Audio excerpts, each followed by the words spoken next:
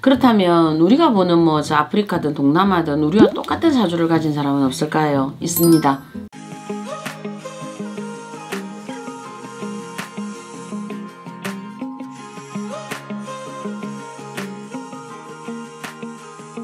네, 작두신당의 장정은입니다.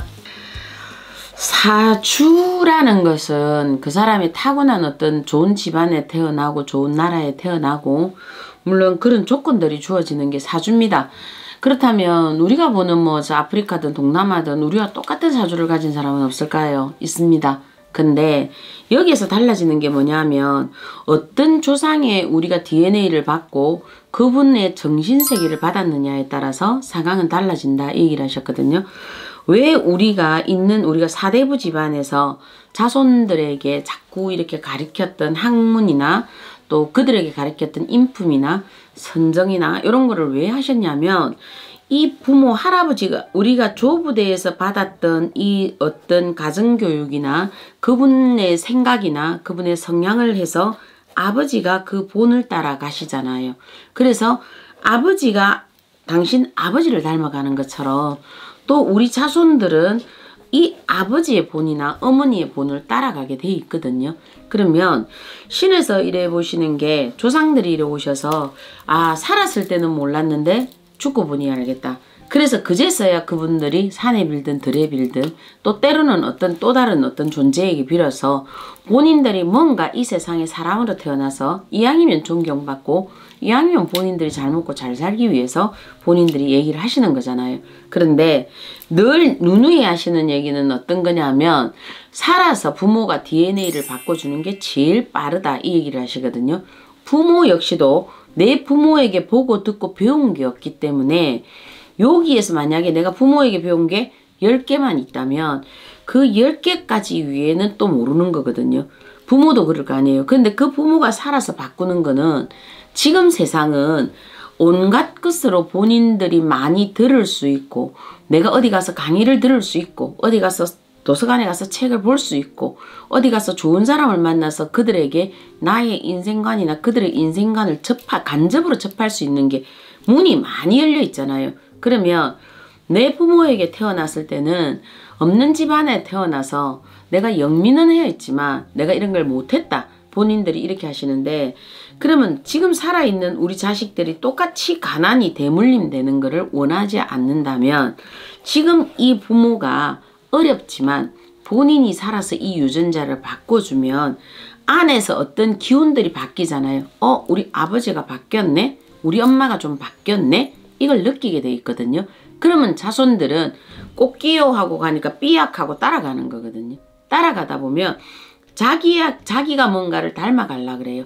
어느 날 외방으로 돌던 아들이, 외방으로 돌던 딸이 어느 날 부모가 뭔가 달라져 있고 엄마 아버지가 달라져 있다. 엄마가 달라져 있다. 아버지가 달라져 있다. 이러면 이 애들은 약간 멈칫거리면서도 나가는 출행이 10번 나갔다가 9번 나가고 점차 줄어드는 경우를 발생하게 돼 있거든요.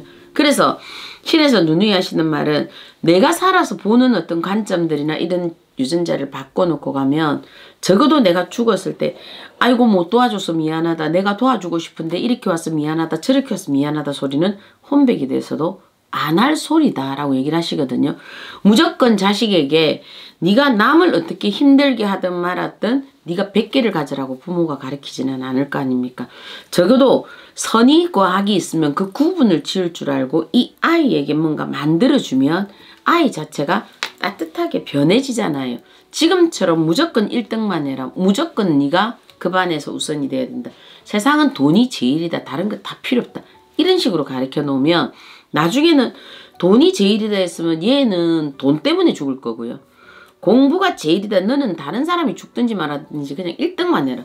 그럼 얘는 1등 하다가 나중에 저 모래밭에 빠질 수도 있고요. 어디 저 산에 가서 지 혼자 있는데 지 혼자 1등이잖아요.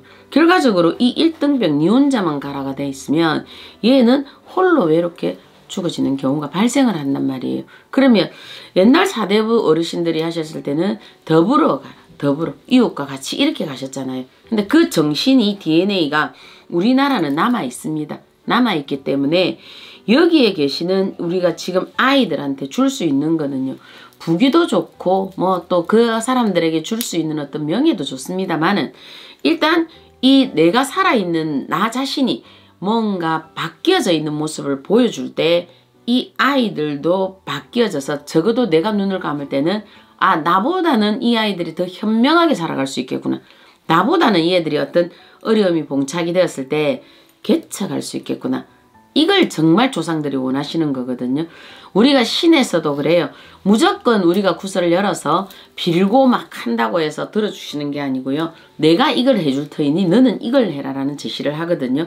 생전 책안 읽었던 사람 보고 어느 날 진짜 어려운 뭐 단테 신곡을 갖다 주지는 않습니다. 편안하게 읽을 수 있는 거를 보고 접하게 만들거든요. 그러면서 엄마의 생각이 깨어나면 자손들도 어느 날 부모와 케미가 되니까 스스로 부모와 얘기가 되고 대화가 되니까 당연히 걸음이 늦게 오던 아이가 빨리 오고 안 모이던 아이가 모여지는 거 요런 부분들이거든요. 그래서 이 DNA는 너무 중요하고요. 정말 조상이라는 어떤 존재가 이 사람들에게 후손에게 어떤 작용을 할까라고 했는데요.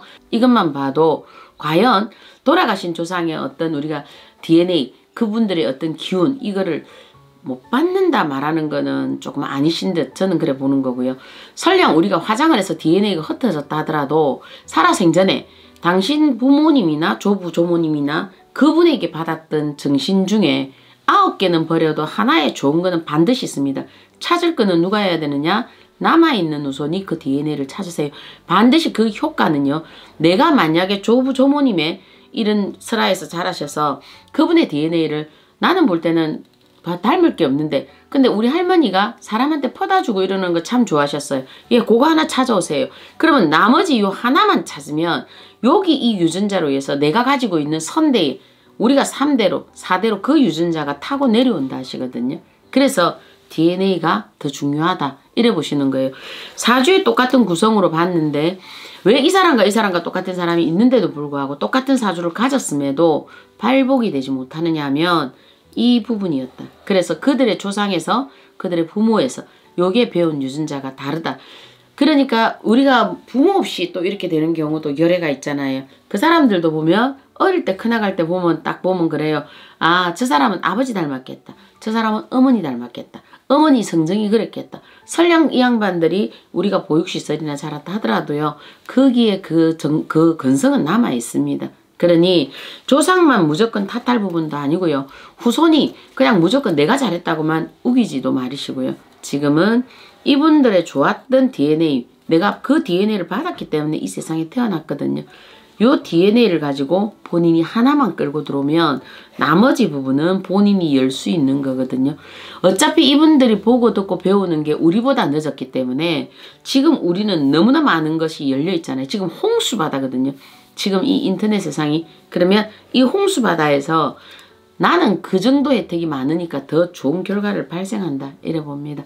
그래서 저는 DNA의 힘이 굉장히 크다고 생각하는 사람이고요. 그래서 본인들이 타고난 사주와 여기 둘이가 딱 만나면 금상첨화가 되는 거죠. 그래서 가졌다고 그렇게 우쭐대지 마라. 그래봐야 100년도 안 된다. 그렇게 말씀하셨습니다. 네, 작두신당의 정정은이었습니다.